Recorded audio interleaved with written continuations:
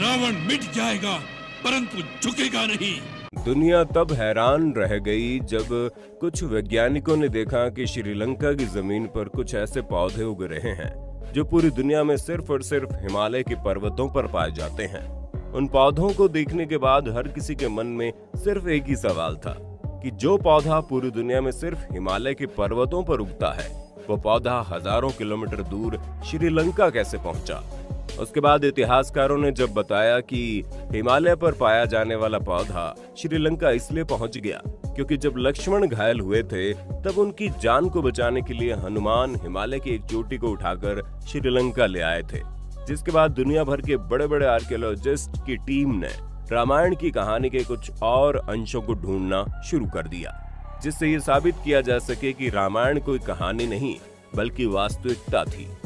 लंका में आग अगर आपने रामायण की कहानी को देखा होगा तो आप इस बात को अच्छी तरह से जानते होंगे कि जब हनुमान जी की पूंछ में आग लगाई गई थी, तब हनुमान जी ने पूरी लंका में आग लगा दी। यही वजह है कि रावण की लंका पूरी की पूरी खाक हो गई थी। आर्कियोलॉजिस्ट ने जब इस बारे में पता लगाया तो उन्होंने देखा, पूरी श्रीलंका की मिट्टी अलग है। लेकिन जिस जगह पर रावण के सोने की नगरी थी, उस जगह का पूरा का पूरा मिट्टी ही काला हो गया है। जबकि पूरे श्रीलंका में कहीं भी और काले रंग की मिट्टी नहीं पाई जाती। इस खोज ने दुनिया भर के वैज्ञानिकों को सोचने पर मजबूर कर दिया कि रामायण की कहानी बिल्कुल सच है। हनुमान जी के पैरों के निशान। जब रावण माता सीता का अपहरण करके लंका लेकर चला गया, तब भगवान राम ने माता सीता को ढूँढने के लिए हनुमान को आदेश दिया। हनुमान जी अपना विकराल रूप लेकर समुद्र को छलांग लगाकर पार किए थे और श्रीलंका में एक पत्थर के ऊपर उतरे थे। जब हनुमान जी का विकराल रूप है श्रीलंका के पत्थरों पर उतरा तो श्रीलंका के पत्थरों में उनके पैरों के निशान बन गए। ये पैरों के निशान बिल्कुल उसी जगह पर है, जिस जगह पर रामायण में हनुमान जी के उतरने की बातों को लिखा गया है। लाखों साल पुरानी गुफा। रावण जिस वक्त माता सीता का अपहरण करके लंका लेकर गया था, उस वक्त माता सीता को एक गुफा के अंदर कैद करके रखा गया। हाल ही में पुरातत्व विभाग को श्रीलंका के इस गुफा के बारे में पता चल गया। जब पुरातत्व विभाग के लोगों ने उस गुफा के हर एक पहलू को जांचा तो उन्होंने देखा गुफा के अंदर कुछ रामायण से जुड़े अजीबोगरीब चित्रकारी की गई है। ये सभी चित्रकारी आज से हज़ार या फिर दो हज़ार साल पहले की नहीं, बल्कि लाखों साल पुरानी है। आप भी यहाँ बनी तस्वीरों पर नज़र डाल सकते हैं। इन गुफाओं में ऐसी तस्वीरें बनी हुई है जो कुछ हज़ार नहीं, बल्कि लाखों करोड़ों साल पुरानी है। और ये तस्वीरें रामायण की पूरी कहानी को दर्शाती हैं। संजीवनी बूटी। दोस्तों, ये तो आप जानते हैं कि युद्ध के दौरान लक्ष्मण जी घायल हो गए थे और उन्हें बचाने के लिए हनुमान जी को संजीवनी बूटी लाने का आदेश दिया गया था। संजीवनी बूटी पूरी दुनिया में सिर्फ़ और सिर्फ़ एक ही जगह पाई जाती थी। वो है हिमालय का द्रोणागिरी पर्वत। लेकिन हाल ही में वैज्ञानिकों ने देखा, वही संजीवनी बूटी का दुर्लभ पौधा श्रीलंका ने भी उसी जगह पर मौजूद है। जहाँ पर रावण और राम के बीच युद्ध की बात कही जाती है। उस पौधे को वहाँ पर देखने के बाद दुनिया भर के वैज्ञानिक ये मानने को मजबूर हो गए कि भगवान राम और उनकी रामायण बिल्कुल सच है। द्रोणागिरी पर्वत। इन सब के अलावा जब हनुमान जी ने लक्ष्मण को बचाने के लिए संजीवनी बूटी की जगह पूरे के पूरे द्रोणागिरी पर्वत को ही लेकर आ गए तब श्री राम के भाई लक्ष्मण का इलाज होने के बाद हनुमान जी उस पहाड़ी को उठाकर वापस हिमालय के पास रखने गए थे। लेकिन हैरानी की बात तो यह है कि आज भी द्रोणागिरी पर्वत पर उस निशान को देखा जा सकता है, जहाँ से हनुमान जी ने उस पहाड़ी को उठाया था और वापस से रखा। यही वजह है कि आज द्रोणागिरी पर्वत को भगवान की तरह पूजा जाता है। खैर, ये तो हमारा सनातन धर्म है ही, ऐसा जहाँ हम प्रकृति के हर एक रूप की पूजा करते हैं। राम सेतु।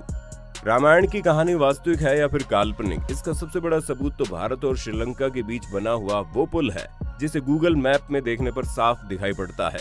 जब आप गूगल मैप को ऑन करके भारत और श्रीलंका के मानचित्र को देखेंगे तो आपको इन दोनों के बीच एक पुल जैसी आकृति दिखाई देगी, जिसे देखने के बाद पूरी दुनिया भर के वैज्ञानिक इस बात को कबूल कर चुके हैं कि ये वही पुल है जिसे भगवान श्री राम की वानर सेना ने कई दिनों की मेहनत के बाद तैयार किया था। वैज्ञानिकों ने यह भी कहा था कि श्रीलंका और भारत के बीच जो पुल जैसी आकृति दिखाई देती है, वो प्राकृतिक तौर पर नहीं बना हुआ, बल्कि किसी के द्वारा बनाया गया है। अब इतने भयंकर समुद्री लहरों के बीच इतने लंबे पुल को बनाने के पीछे किसका हाथ हो सकता है? आप हमें कमेंट में बताइए। तैरने वाले पत्थर।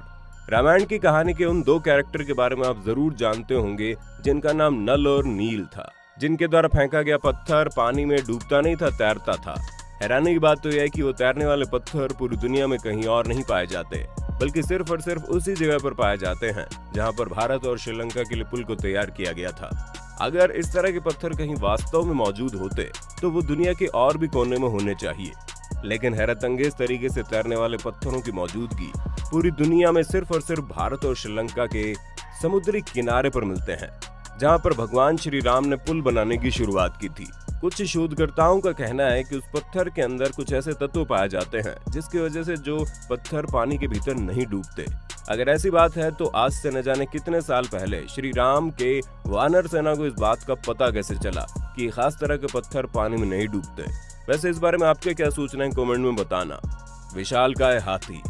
अगर आपने रामायण की कहानी ध्यान से देखी है तो उसमें इस बात को दिखाया गया है कि रावण ने अपनी लंका की रखवाली के लिए बड़े ही भारी भरकम हाथियों को तैनात किया था।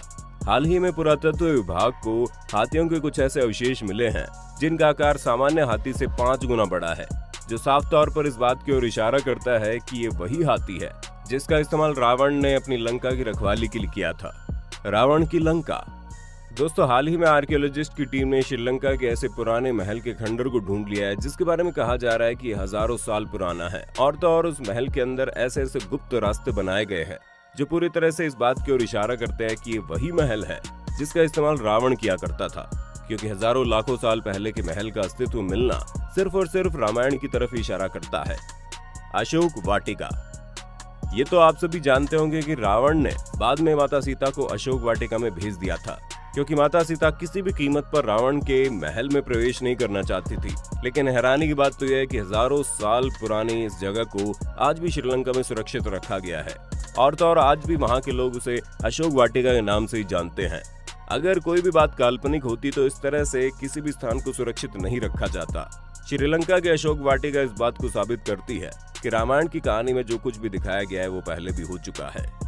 रामलिंगम।